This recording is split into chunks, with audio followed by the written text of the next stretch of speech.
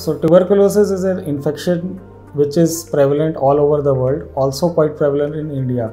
And it is basically an infection which is caused by a unique bacteria, and the name of that bacteria is Mycobacterium tuberculosis. So, it usually spreads from one person to another from droplet infection.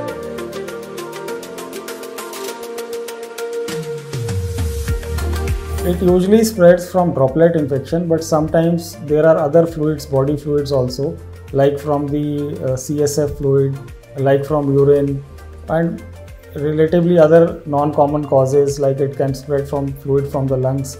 But these are all very rare chances of spreading. Mainly, it spreads from one person's droplet.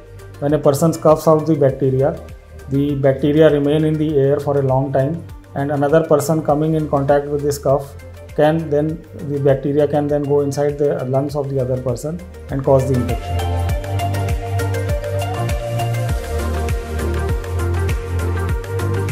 So tuberculosis generally is uh, of two types. One is pulmonary, which is involving the lungs, and that is the most common cause of uh, involvement of uh, the tuberculosis. About 80% of patients of tuberculosis have a pulmonary involvement. The other type of TB is extrapulmonary TB, where other organs other than the lungs are involved and these organs can be the brain they can be the lymph nodes they can be the pleural fluid that is the fluid inside the lungs sometimes also involves the abdomen rarely sometimes involves the heart and other organs also. So these are other forms of extrapulmonary tb that are prevalent in the society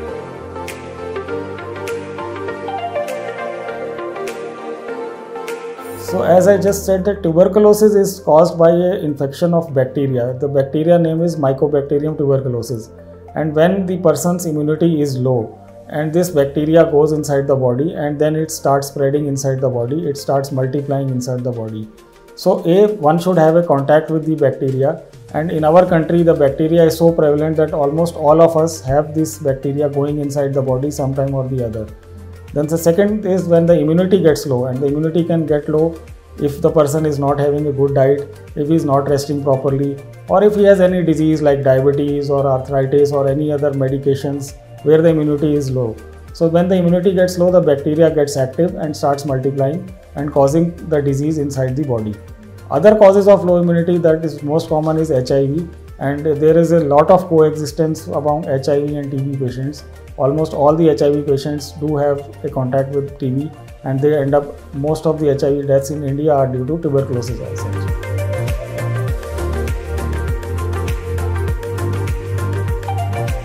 The TB when it starts multiplying inside the body it creates signs and symptoms and we should be aware that if there is persistent cough that is for more than 2 to 3 weeks if we are having persistent nighttime symptoms like fever uh, night uh, night sweats loss of weight, loss of appetite, and then there is cough, and then there is sputum, and if you are coughing out blood. So these are the common symptoms of uh, when the lung gets involved, and almost all the patients do experience these symptoms. But only the thing is that we should be able to catch the symptoms early so the treatment can start at an earlier stage.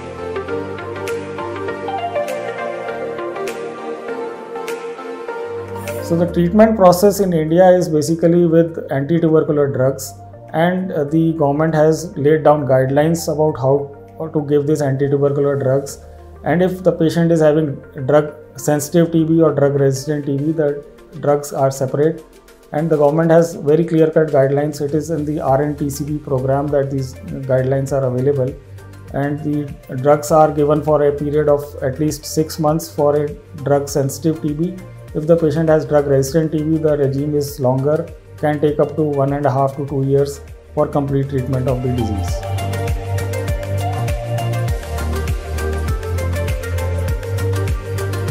Yes, prevention is obviously very more important than cure.